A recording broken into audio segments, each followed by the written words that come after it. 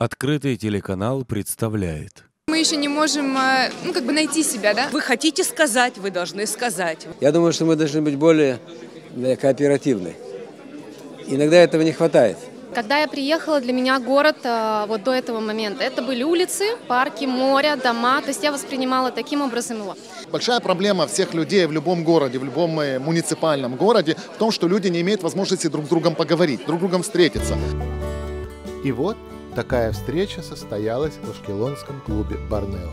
Сюда по инициативе открытого телеканала власти города и старожилы пригласили новых русскоязычных репатриантов, чтобы вместе за круглыми столами обсудить и попытаться решить их проблемы.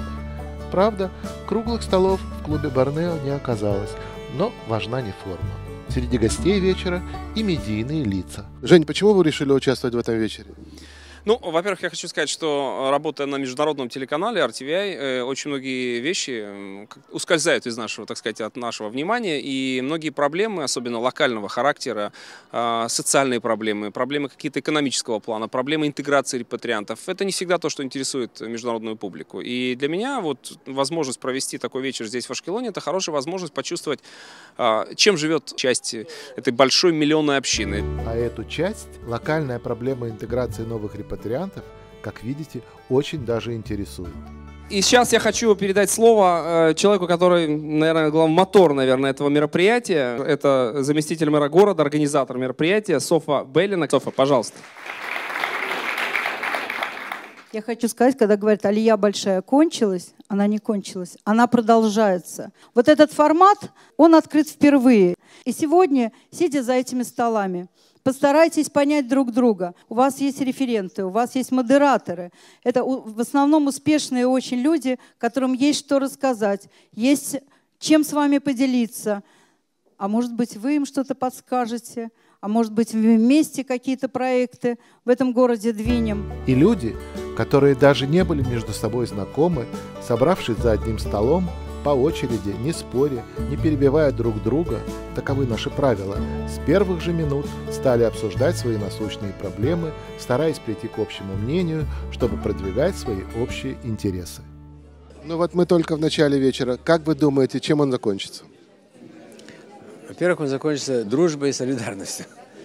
Но я думаю, что каждый должен унести что-то с собой отсюда новые репатрианты, совсем молодые и свежие, должны унести с собой надежду. У нас такая тяжелая адаптация была, и вот эти ребята нам помогли, и теперь мы э, вот решили, э, нас стало побольше как-то, все объединились и думаем, а чем же помогать другим. И вот за столом очень мне понравилось, говорили, что мы с удовольствием будем приходить помогать, вводить в курс дела. Вообще, когда садишься за стол, а не находишься, скажем, вот э, когда депутаты стоят где-то на сцене, а все остальные в зале, это менее эффективная форма общения. Во-первых, э, это новый формат.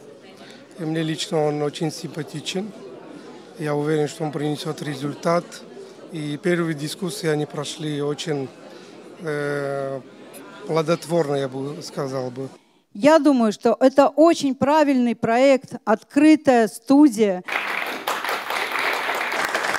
я считаю, что это вот новая форма продвижения э, каких-то интересов в обществе. Потому что все сегодня сидят подвешены в соцсетях, в интернетах, в телевидениях.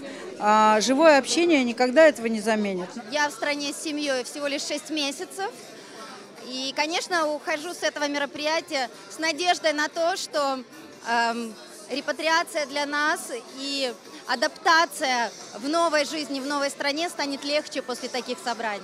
Вот такого формата за 20 лет я просто не помню. На самом деле, то, что здесь произошло, это потрясающе. Скажите, было ли что-нибудь такое за вашим столом, чего вы раньше не знали, а вдруг услышали? Естественно, мне э, люди вдруг э, люди, я узнаю людей таких специальностей, которых я даже не, не знал, что такие специальности существуют. Например, как агроном, который, у которого своя, своя ферма, который что-то выращивает, живя в Ашкелоне, тем не менее. То есть и люди просто показывают и рассказывают, чем бы они могли помочь городу. Мы даже об этом не думали, что такое возможно. Например, та же самая ферма, которая может что-то дать городу. Это просто здорово, замечательно, и нужно такие встречи повторять чем чаще. Сегодня у меня такое ощущение, что я душу города увидела, потому что за нашим столом были старые репатрианты, люди с удивительными судьбами, интересных очень профессий, очень разносторонние, и они делились такими вещами, которые я никогда не переживу. То есть они приезжали во времена, когда было намного тяжелее, я увидела, сколько они вложили труда, и теперь я вот понимаю, что я завтра, например, встану с утра, выйду на улицу, и я город буду видеть уже через них, через призму их лиц, их судеб. Для меня это немножко откровение, поэтому я очень рада, что я побывала сегодня здесь. Пожелаем же мэрии Ашкелона и всем его жителям всегда смотреть на свой город через такую же светлую призму.